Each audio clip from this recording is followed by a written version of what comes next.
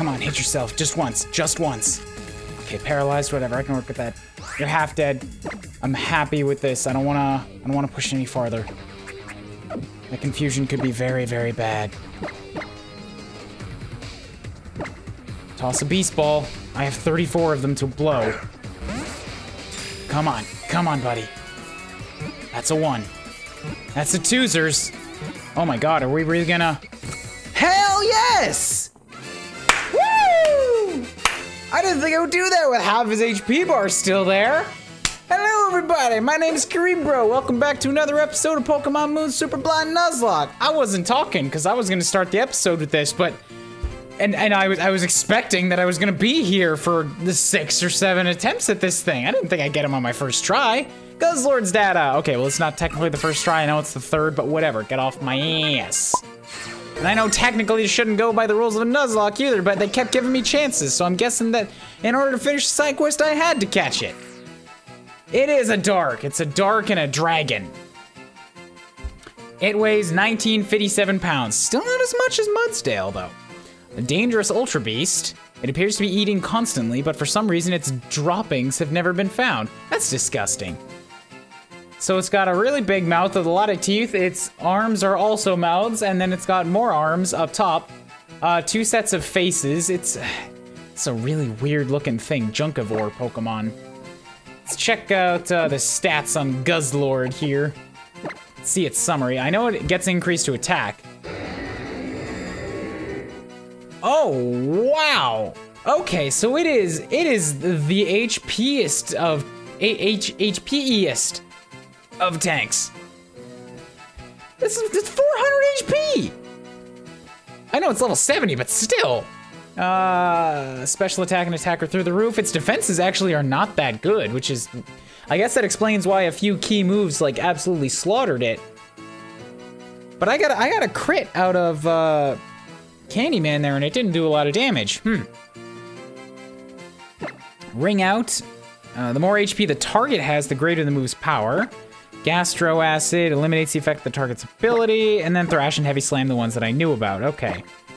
Wait, what? Oh, oh, never mind. I was I was looking for that one move. I didn't understand what was happening. That like that purple rings that he used on Stonata at the beginning of last fight. It, that was wring out. I forgot about that. Okay, cool. Well, let's chuck Guzzlord to the box and we'll head back to the in boat because we're totally done. I think that's probably the UB side quest completed. Let's see, do I, do I still not have any kind of escape rope? It looks like I do not. Ugh, all right. Well, I will cut back to you guys when I get there then, because I'm sure I'm gonna fight a Golbat or 7 on the way out. Okay, we're landing in town. So just just in case, just in case, I don't think they're gonna throw a battle or something at me, but you know, just in case. Stonata took a couple hits, Yak took a couple hits, Candyman took a couple hits. I gotta swap everybody out. Well, not swap them out, but I gotta give them a quick heal, that's all. And I guess I should also report while I'm walking over to the other place, uh, since this is the first Pokemon that I'm recording after Con Bravo, I have gone and uh, found and picked up the next game that I would like to do in this series. I'm probably gonna take a bit of a break from Pokemon, but I do want to come back to it. And I have the next title in my possession. Some of you guys in the comments might already know what I'm talking about, but for those who don't read the comments, congrats, you get a nice little surprise, and I'm not gonna spoil it for you. All right, let's head in. What up, Looker? What voice will I give you today? What is it? Has something happened, or do you need some information from me? I'm all done. Amazing, bravo, you've done it. I must call the chief back at once. From that buoy I left her on out in the middle of the ocean. I finished sending the data from the UBU Protected to HQ and to Miss Wicke as well. Thank you for your hard work, Kubines. Now we will be able to learn all there is to know about Guzzlord, otherwise known as UB Glutton. We've done it, Chief. We have completely banished and sealed off all of the UBs from our world forever, except for the ones that are currently still locked here. But we're gonna pretend that those don't exist. You've successfully contained all of the UBs. Thank you so much for all your hard work on these missions, Kubines and Mr. Looker. I, you, you didn't let me do anything. You made me stand in the room like a big old douche nozzle. It was all you and Cubines, much to my protest. and now that we finally completed our missions, I will treat us all to a feast of. no, no, we will not. I'm not hungry. How many times do I have to tell you this? But, but I, uh, we finally reached it, our grand finale, which we should end with a big feast. Our truly final mission requires that we go to Aether Paradise and report to Miss Wicke that we've contained all the UBs. Yes, good, haha! I didn't know that this was gonna happen, but it does work out that we did not go and waste our time checking in with every every one of them. Indeed, you're right, and we must thank her for the Pokeballs known as Beast Balls. We'll be going to Aether Paradise to report to Miss Wicke about our success. Why don't you come along as well? We make for the secret labs in the lower floor of Aether Paradise. Looker, you do know that we're in a public restaurant, right? What? I'm just saying we're going to the secret labs at Aether Paradise in basement B2 behind the giant locked doors, and the password is 7XC9. What's the big deal? I'm just making sure we all have the same information. We don't want anybody to be locked out, do we? Why don't you join us, Scooby? so can I get like a teleport here? No, I cannot. I have to go and do it manually. Ugh, all right. Anyways, um, I, I've got my list around here somewhere. I can't, there it is. Actually, no, what am I talking about? I'll check the list later because we have to finish up this one first. We already know what we're doing. We're gonna go to the basement 2F lab area. I guess everybody at Aether already knows about the secret labs. But which lab? This is the real question. Is it this one? Uh, it is not. Aha, cool. I did hit the wrong one first. All right, you're just talking about the cryogenically frozen Pokemon because that's depressing. All right. That looks like space for another secret lab. Were there three, and then they just like modularly moved one out? How did you get here before me, Anabel? You teleporting bitch. I'm sorry, I didn't mean that. I wanted to think of something more clever. I'm failing my New Year's resolution. Clever swears are hard, guys. We've been waiting for you, Cubines.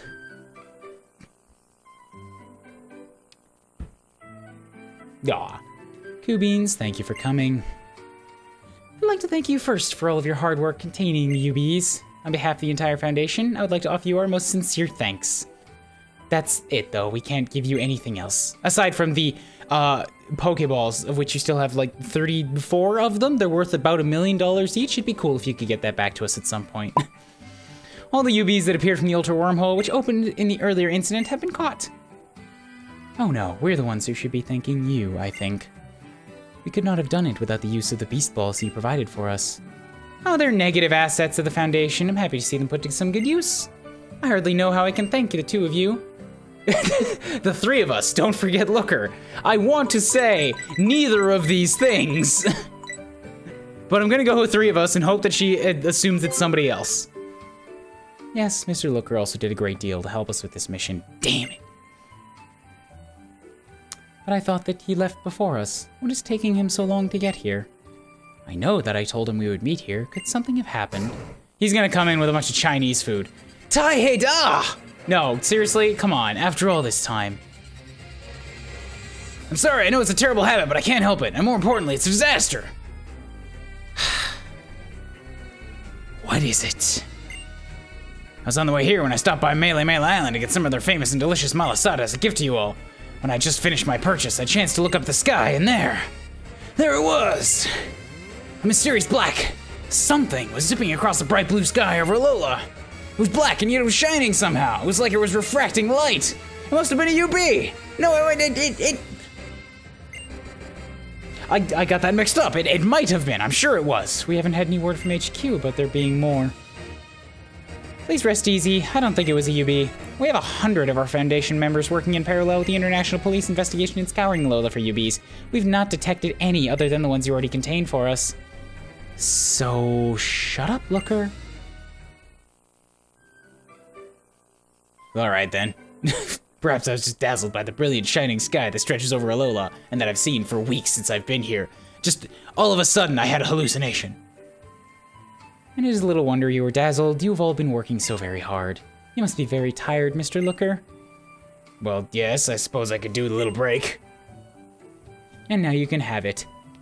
Judo chop! Just put him to sleep. I received a message from HQ saying that our paid leave has been approved. You, you mean actual vacation time? Mm-hmm, mm-hmm. I say we're free to do whatever we'd like until we get our next orders from HQ. I hope you all use this chance to relax for a little while, Looker.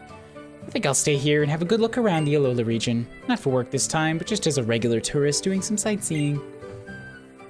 Then I think that I will go and eat all my fill of delicious Alolan cooking. There's simply too many restaurants and eateries that I wish to visit. You do that. I was hitting my mouse button. That's not hooked up to the computer. And the traditional sushis at the Sushi High Roller are absolutely sublime. Sushi High Roller? Oh, I completely forgot. I was supposed to be meeting someone. But we have we we, we I let me get our feast, woman. No, not a date. I'm meeting with Mr. Nanu. We owe him quite a bit for all his help. Yeah, I suppose. So if you'll excuse me, Cubines, everyone, I'm afraid I must be going.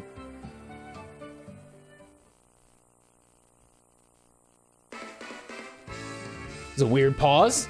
I hope we meet all again someday. She's got a weird nod. It kind of like rotates her shoulders too. Yes, my young Cubines. I also owe you my thanks. Because of your efforts, we were able to keep the shape safe until the end. Folks at HQ thought you need to be paid for your work, so they sent this. Take it. You received one million dollars. That's the most legit reward I've ever gotten. I think that's time I went. I'll be staying in the motel on Melemele, so feel free to stop in anytime. Bye. UB conservation mission is complete. Alola shines beautifully. No punctuation. Well now, Miss Wicke, it's just you and me left. You wanna go get a drink sometime, or? Let's just ask if there's anything I can ever help explain. All right, cool. Let's check the UB data. Which Ultra Beast would you like to learn more about? Nihilego first. Let's just go through everybody. Properly known as Nihilego, there have been sightings reported of this beast in Alola's past. Its most distinctive feature is its parasitic capability. Nihilego latches onto a host, it does not manipulate its actions directly. Rather, it awakens the host's own capabilities and boosts them to an extreme extent in order to protect itself. It injects the host with a sort of neurotoxin to achieve this effect. It's incredibly stimulating and inspires feelings of extreme excitement and a lack of inhibition in its host. Anyways, in other words, anything or anyone that Nihilego latches onto will have its native skills forcibly activated to their fullest extent and will then act as it naturally desires to. So, super drunk. Except without without the slurriness. What's next? Pheromosa. Codename Beauty, properly known as Pheromosa. This UB was sighted for the first time following the incidents at Aether Foundation.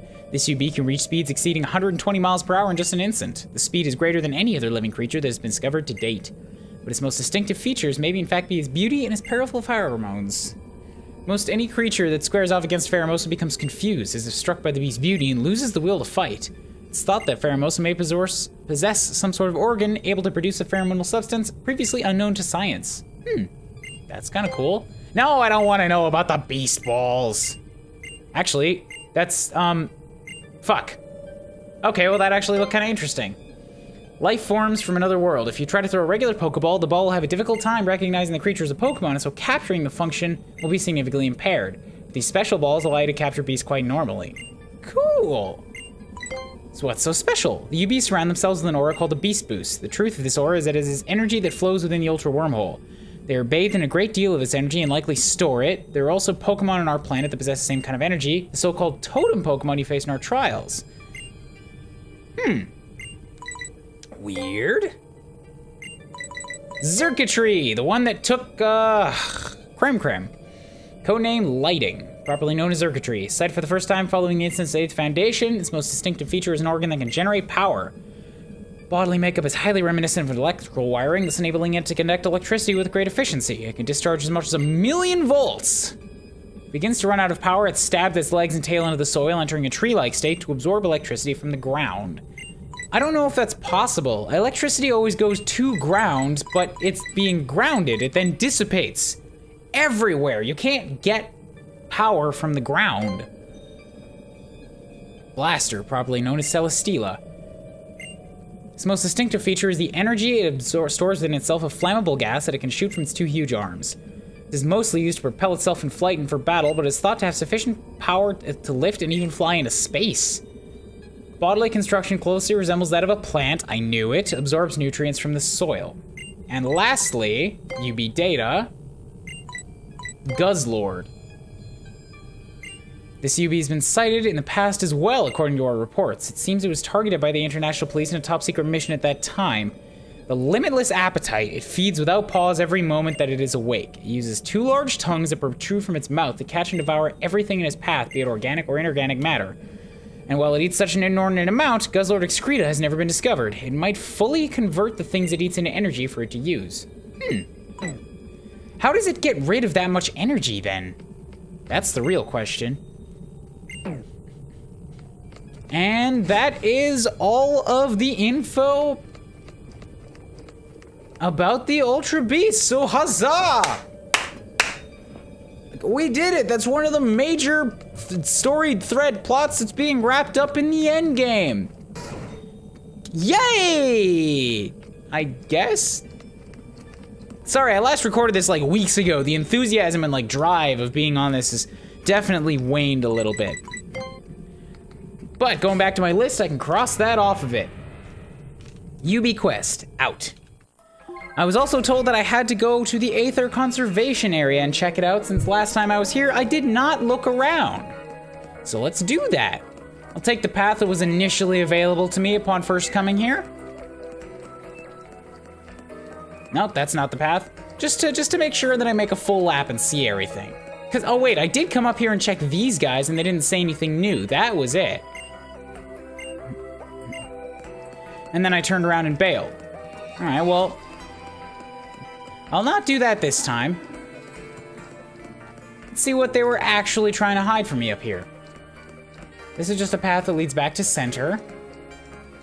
So how you guys doing? I'm excited that I'm almost at the end of this game. Well, I mean, I'm already past the end of this game, but I'm almost at like the end end, the post-game end. As much as I've loved this game, I'm definitely pretty ready to set it down and move to something else.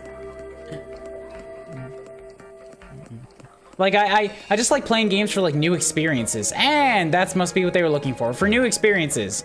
And, uh, not to say this game isn't throwing me new experiences, but I'm definitely, like, it, it's not, it's not fresh experiences anymore.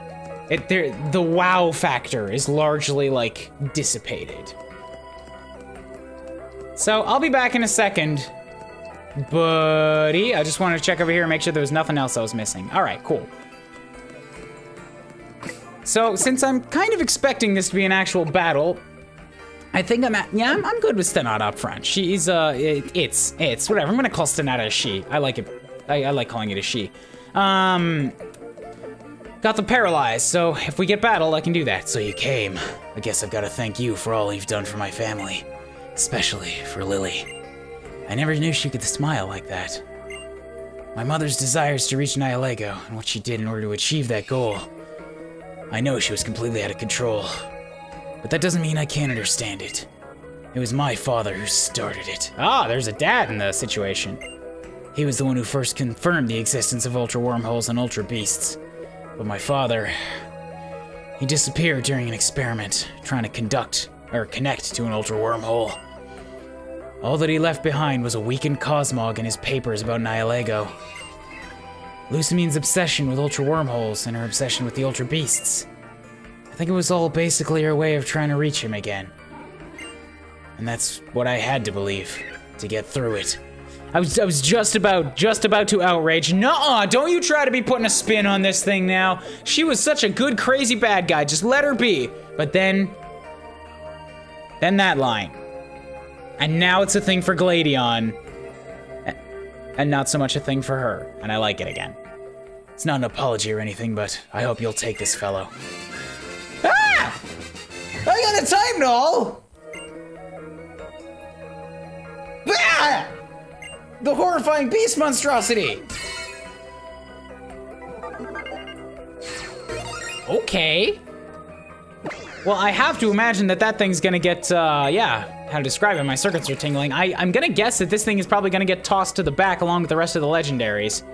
Due to the danger the synthetic Pokemon may go on a rampage, it wears a control mask to restrain its power. Ooh. Like to give Type Null a nickname? Nah. We'll check the summary, but... Probably just gonna dump it, honestly. It's only level 42. Wow, if I wanted to use this thing, there would be a lot of catch-up to do. Battle armor. Hard armor protects the Pokemon from critical hits. That's awesome. And look at those, look at the, oh my god, it's so perfect.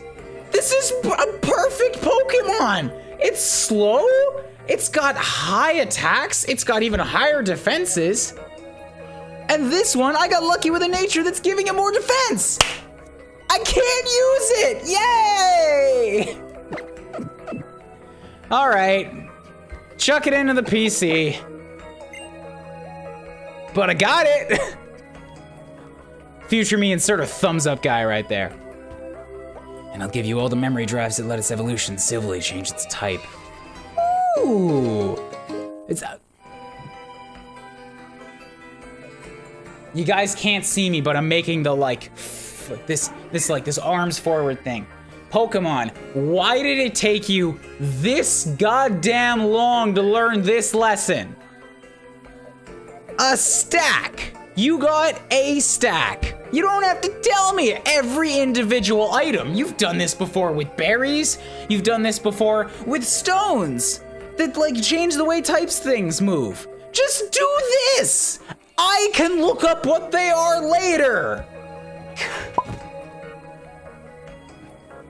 It's like 35 and a half by the time I learned this lesson. This is a different type, Null, not the same one I ran away with. It was kept in Secret Lab A. Its very existence was a secret. But I think I know you well enough. I think I can trust you to show it to the world. Maybe it's time I see a bit more of the world myself. And starting with that Pokemon League, I think. I hear that Alola's got a real strong champion. Yeah, you kind of passed me on the way up the mountain. But I've already seen the uh, the Elite Four once, so I'm not going back to have more challengers come up and fight me. Sorry, guys. I know it's a thing that can happen, but I'm not going to be doing it here. I've already made my second run there.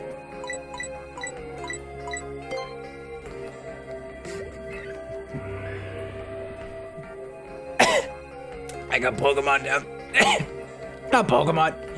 Pokemon sounds even grosser. I got coffee down the wrong tube. I'm dying. With that done, this seems like a pretty good place to leave this episode off, so nice and contained. Doesn't need to be any longer than this. UB stuff is wrapped up. Aether Foundation stuff is wrapped up. Next time, something different. Thank you, everybody, so much for watching. this episode of Pokemon Moon Super Blind Nuzlocke. Uh, hit the like button down below. Consider subscribing if you haven't already. Share it with anybody else new who likes this kind of game.